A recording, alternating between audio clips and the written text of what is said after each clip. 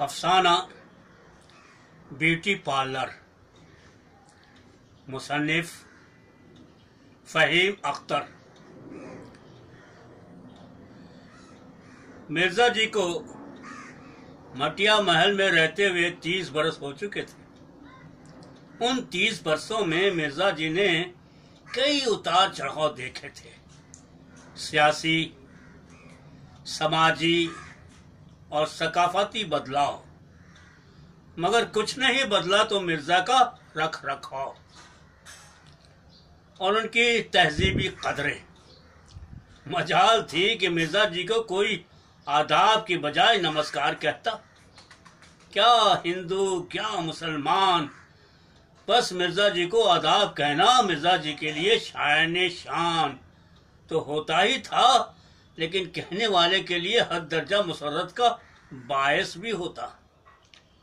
مرزا جی کا تعلق تو لکھنؤ سے تھا، مگر مٹیا محل میں آتے ہی مرزا جی کے رکھ رکھاؤ اور تکلفات نے لکھنؤ کو بھی مات کر دیا۔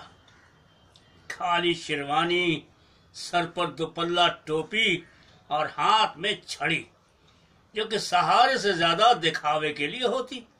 آج صبح ہر روز کی طرح مرزا جی چہل قدمی کے لیے نکلے تو ان کی نظر سامنے والی دھوبی کی دکان پر پڑی۔ میاں غفور۔ جی مرزا جی آج آپ نے ہماری قمیض پر استری کیوں نہیں فرمائی؟ غفور دھوبی نے گھبراتے ہوئے کہا، مرزا جی آج گھاٹ سے کپڑے ڈھل کر آنے میں دیر ہو گئی تھی۔ معافی چاہتا ہوں۔ ہاں معافی۔ مرزا جی ہکلاتے ہوئے بولے، آپ حضرات کے ساتھ یہی تو مجبوری ہے۔ ایک تو آپ نے کام مکمل نہیں کیا، پھر اس پر معافی۔ لاہور میرا قوت۔ پھر کیا تھا؟ مرزا جی شروع ہو گئے۔ میاں، جب میں لکھنؤ میں رہتا تھا تو ابا حضور آپ جیسوں کی دکان پر جانا بھی گوارا نہیں کرتے تھے۔ اس پر غفور دھوبی نے پوچھ ڈالا، مرزا جی تو کیا آپ کے ابا حضور کے گھر دھوبی بھی ہوا کرتا تھا؟ اماں اب آپ کو ہم یہ بھی بتاتے ہیں کہ کیا نہیں ہوا کرتا تھا۔ وہ تو کم وقت فرنگیوں کو آپ برا کہیے جو ابا حضور سے وعدہ کر کے اور پھر ہمیں دھوکہ دے کر رخت سفر باندھ گئے۔ غفور دھوبی بھی بڑی چالاک شہ تھا۔ اس نے مرزا جی کی دکھتی ہوئی رگ پر فوراً ہاتھ رکھ دیا اور کہنے لگا، مرزا جی کچھ ایسی سنائیے کہ کہانی کا مزہ آ جائے۔ میاں، یہ کہانی نہیں ہے، حقیقت ہے، حقیقت۔ وہ یوں کہ ہمارے لکھنؤ میں کیا مجال کہ کوئی ہمارے حکم کے بغیر ایک چڑیا بھی پر مار دے۔ میاں، ہمارے یہاں جو دربار لگتا وہ کوئی شام تک جاری رہتا۔ بس، حوالدار، ڈاکٹر اور افسران ایک ایک کر کے آتے اور انعام لے کر رخصت ہو جاتے۔ مرزا جی اپنی کہانی سنا ہی رہے تھے کہ سامنے والی حجام کی دکان میں ایک لڑکی داخل ہوئی۔ ہما غفور میاں، یہ میں کیا دیکھ رہا ہوں؟ غفور میاں نے استری کو کونے میں رکھتے ہوئے کیا کیا مطلب مرزا جی۔ مرزا جی نے ڈبیا سے پان نکالا اور منہ میں پان دبا کر چباتے ہوئے بولے ہمارے شنکر، حجام کی دکان میں یہ لونڈیا کون تھی غفور دھوبی نے سر کو ہلاتے ہوئے جواب دیا، مرزا جی ہم نے آج ہی سنا ہے کہ کوئی لونڈیا بھی شنکر حجام کے آتی ہے۔ ویسے شنکر تو کہہ رہا تھا کہ وہ کیا انگریزی میں بولتے ہیں۔ بوٹی، beauty parlour. Mirza ji beauty parlour کے اصطلاح کے رموز سے قطع آشنا نہ آشنا تھے۔ بوکھلا کر پوچھنے لگے، تمہارا مطلب یعنی حجامت کے علاوہ کچھ اور؟ غفور نے بات کاٹتے ہوئے وضاحت کرنے کی کوشش کی۔ ہاں وہی مرزا جی لگتا ہے اب شنکر کے ہاں عورتوں کے بال کی کٹائی بھی شروع ہو گئی ہے۔ اما، کیا بکواس کرتے ہو؟ شنکر؟ شنکر کے تو ہمارے منہ خمدار کو سنوارنے میں ہاتھ کاپنے لگتے ہیں؟ شنکر کے، تو ہمارے منہ خاندار کو سوارنے میں ہاتھ کانپنے لگتے ہیں؟ اب وہ خاتون کی نازک زلفوں کے کیا خاک ہاں، ہاتھ لگا کر سنوارے گا؟ مرزا جی کی بےقراری تھمنے کا نام ہی نہیں لے رہی تھی۔ غفور دھوبی بھی مرزا جی کی دلچسپ باتوں میں الجھا ہوا تھا۔ تھوڑی دیر میں مرزا جی غفور دھوبی سے یہ کہتے ہوئے رخصت ہوتے ہیں کیوں نہ ہم بھی آج اپنے منہ پیچیدہ کو ترشوا لیں بس پھر کیا تھا، اگلے ہی پل مرزا جی شنکر حجام کی دکان پر پہنچ گئے اور انتہا شان نوابی سے ہم کلام ہوئے۔ ہمارے شنکر میاں، کہاں بھائی تم؟ شکر حجام اندر سے پردے کو سرکاتے ہوئے باہر آتا ہے اور بہت احترام سے کہتا آدھا مرزا جی آدھا برس ہے۔ بھئی آج تمہاری دکان میں بڑی رونق ہے۔ رونق تو آپ کے تشریف لانے سے ہوئی ہے مرزا جی۔ شنکر حجام نے ازراہ تمسکر جواب دیا۔ وہ تو ہے، مگر آپ کی دکان آج کچھ بدلی بدلی سی دکھ رہی ہے۔ مرزا جی آج سے ہماری دکان میں حجامت کے ساتھ ساتھ مالش کا بندوبست بھی ہو گیا ہے۔ کیا مطلب؟ اب تم نے مالش کرنے کے لیے پہلوان رکھ لیے ہے شنکر حجام نے فوراً جواب دیا، ارے نہیں مرزا جی پہلوان نہیں، بلکہ ایک سندری مالش کرے گی۔ لاہور، ولا قوت، آپ کا دماغ تو نہیں خراب ہو گیا ہے۔ مرزا جی نے شنکر کی بات پر اس طرح ناک منہ چڑھائی کہ واقعی انہیں لانڈیا کا آنا ناگوار گزرا ہوگا۔ مگر اس لڑکی کو دیکھنے کے اشتاق نے مرزا جی کے دل کے اندر اضطراب و تجسس کی ایک آنکھ سی لگا دی تھی۔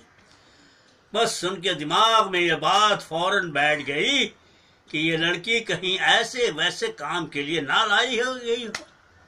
ابھی مرزا جی آئینے میں اپنی شکل دیکھ کر اس بات کو سوچ ہی رہے تھے کہ شنکر حجام نے ان کی خاموشی کو توڑتے ہوئے سوال داغ دیا۔ تو کہیے مرزا جی آج آپ کی کیا خدمت کی جائے؟ میاں شنکر بس وہی جو تم ہمیشہ کرتے ہو۔ لیکن مرزا جی داڑھی تو میں نے کل ہی بنائی تھی۔ ہاں ہاں کل بنائی تھی نا، مگر آج تو نہیں۔ آپ کو میں یہ بتانا چاہوں گا کہ ابا حضور کے زمانے میں صبح اور شام دونوں وقت ہمارے ہاں جام آتے تھے۔ اور وہ رونق ہوتی تھی، اور وہ رونق ہوتی تھی کہ بس مت پوچھیے مرزا جی اپنے شیخی شنکر کے سامنے بگھار ہی رہے تھے کہ گلابی پردے کے پیچھے سے ایک نرم و نازک سی آواز نے مرزا جی کو خاصے وہ مجبور کر دیا۔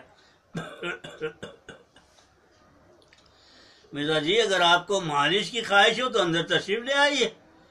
مرزا جی نے اپنے آپ کو سنبھالتے ہوئے اور کھانستے ہوئے وہ مشکل تمام شنکر سے پوچھا، میاں شنکر، جو میں نے سنا، کیا یہ سچ ہے؟ شنکر نے کہا، مرزا جی اگر خواہش ہو تو اندر تشریف لے چلیے۔ اب تو مرزا جی کا چہرہ کھل اٹھا اور سوچنے لگے کہ حجامت جائے بھاڑ میں، بس سارے بدن کی گرمی گرم گرم مالش ہو جائے۔ اما شنکر، ذرا جلدی ہاتھ چلانا۔ کل ہی تو تم نے حجامت بنائی تھی۔ پھر پتا نہیں آج اتنا وقت کیوں لگا رہے ہو؟ مرزا جی نے گرج کا شنکر سے کہا، مرزا جی میں تو روز جیسا ہی بنا رہا ہوں۔ پتا نہیں آج آپ کو الگ کیوں لگ رہا ہے؟ میاں، کیا نام بتایا اس خاتون کا تم نے؟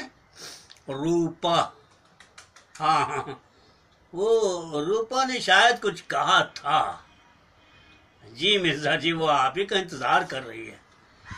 مرزا جی کی بانچیں کھل اٹھی وہ کرسی سے اٹھ کر اندر کی جانب بڑھے اور پردے کو ہلکے سے سرکایا اور کہا، بی بی اندر آ جاؤں۔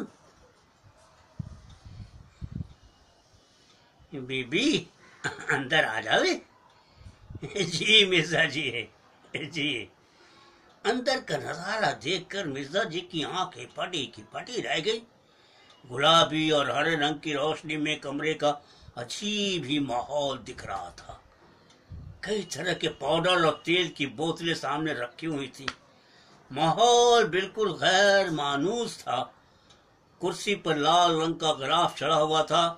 اور مرزا جی ابھی ماحول کا جائزہ لے ہی رہے تھے۔ کہ روپا نے بڑی شوخی بھرے لہجے میں کہا، بیٹھیے نا۔ مرزا جی بلا جھجک کرسی پر جلدی سے بیٹھ گئے۔ روپا نے آہستگی سے کہا، اگر آپ شیروانی اتار دیں تو مہربانی ہوگی۔ نے فوراً شیروانی کو اتار دیا اور ٹانگنے کی بجائے اس کو ایک کونے میں پھینک دیا۔ روپا نے اپنے نازک ہاتھوں سے مرزا جی کے ماتھے پر جو تیل ملا،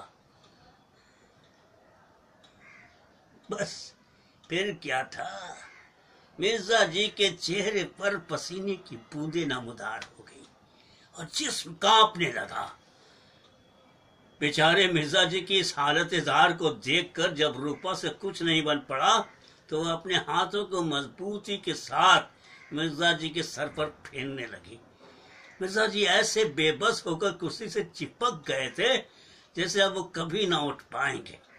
اسی کشمکش میں مرزا جی مبتلا تھے کہ شنکر نے آواز لگائی، مرزا جی مرزا جی مالکن آ رہی ہیں۔